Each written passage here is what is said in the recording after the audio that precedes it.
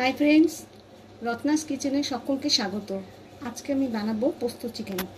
খুবই একটা easy recipe তার জন্য আমি কী কী নিয়েছি আসুন বলে নিই। এখানে আমি কাঁচা লঙ্কা, রসুন দিয়ে পোস্ত বেটে নিয়েছি।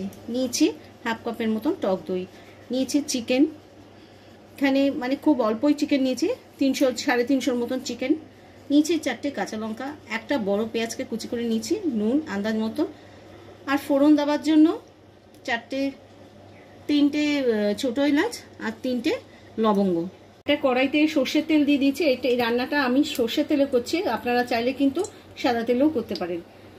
আর দিয়ে দিচ্ছে একটা ভেঙে কাঁচা লঙ্কা। ভেঙেই দিতে হবে, না হলে কিন্তু ফেটে চারদিকে ছড়িয়ে যাবে।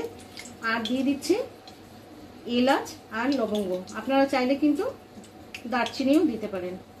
আর দিয়ে দিচ্ছি পেঁয়াজ কুচি। পেঁয়াজটা একটু লাল করে ফ্রাই করে নেব। পেঁয়াজটা ফ্রাই হয়ে গেছে, দেখুন। একদম পোড়া পোড়া হয়নি, কিন্তু ফ্রাই হয়ে গেছে। এইরকমই অবস্থায় আমি দিয়ে দিচ্ছি পোস্ত, রসুন আর কাঁচা লঙ্কা বাটা। ঝালটা আপনারা স্বাদ অনুসারে দেবেন। আমরা, আমি যেহেতু অল্প চিকেন, আমি এখানে পাঁচটা কাঁচা লঙ্কা দিয়েছি। আর খুব একটা ঝাল না, মোটামুটি ঝাল। আর গোটা লঙ্কা তো দেবই।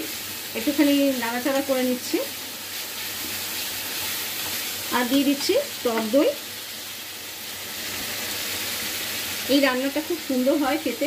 আপনারা কিন্তু চাইলে অবশ্যই বানাতে পারেন। আর দিয়ে দিচ্ছি নুন, আন্দাজ মতন যেহেতু এটা বেশি ঝোল হবে না, তাই জন্য আন্দাজ মতন নুন দিতে হবে। আপনারা চাইলে এখানে কিন্তু সামান্য একটুখানি মিষ্টি অ্যাড করতে পারেন। তো একটু নাড়াচাড়া করে নেব। এখানে আমি লাল লঙ্কা আর হলুদ কিন্তু ব্যবহার করে নিই আপনারা চাইলে কিন্তু হালকা করে দিতে পারেন। তবে আমি বলব না দিলেই খুব ভালো হয়। এবার দিয়ে দিচ্ছি চিকেন। আপনারা চাইলে যে কোনো ছুটির দিনে অবশ্যই কিন্তু এটা বানাতে পারেন। সবাই খেয়ে কিন্তু খুব ভালো বলবে। একরকম চিকেনের রান্না খেতে খেতে অনেক সময় বোর হয়ে যায় মুখ।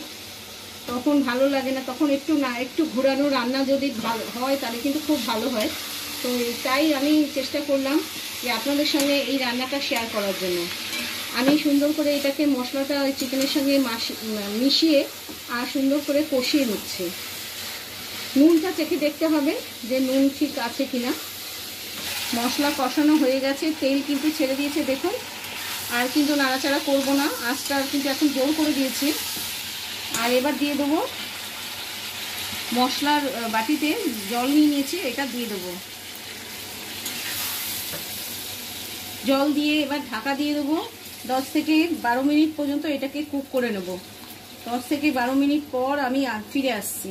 দশ মিনিট হয়ে গেছে, আমি ঢাকা খুলে দিয়েছি। দেখুন, ঝোল অনেকটা কিন্তু শুকিয়ে গেছে, এইরকমভাবেই ফুটেছে। আমি আঁচ কমিয়ে রেখে এইভাবেই ফুটিয়ে এটাকে সেদ্ধ করে নিয়েছি। এবার দিয়ে দেবো কাঁচা লঙ্কা। চারটে কাঁচা লঙ্কা নিয়েছিলাম, একটা কাঁচা লঙ্কা আগেই দিয়ে দিয়েছি, এখন বাকি তিনটে দিয়ে দিচ্ছে। আর এবার গ্যাসটাকে বন্ধ করে দিচ্ছি, তারপরে পরিবেশন করে আপনাদেরকে দেখাচ্ছি।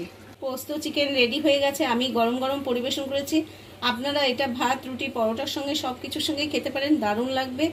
আর যদি এই রেসিপিটা ভালো লাগে, বন্ধুরা, একটা লাইক কিন্তু অবশ্যই দেবেন। আর শেয়ার করবেন বন্ধুবান্ধবদের সঙ্গে। প্লিজ আমার অনুরোধ রইল। আর যারা নতুন বন্ধু, তাদেরকে বলছি প্লিজ আমার চ্যানেলকে সাবস্ক্রাইব করবেন, পাশে থাকবেন। আর সুস্থ থাকবেন, ভালো থাকবেন। টাটা।